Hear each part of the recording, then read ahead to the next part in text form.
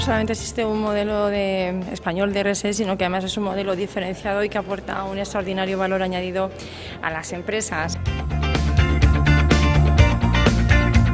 Tienes unas empresas que aceptan y asumen la responsabilidad social, tienes unas autoridades que potencian eh, la legislación favorable a ello y tienes unos consumidores que la exigen. Pero lo más importante es que lo hacen de forma cómplice. Yo creo que ahí es donde está el hecho diferencial, en esa complicidad entre los actores que supone un elemento superador de lo que es una eventual dinámica de divergencia o de confrontación.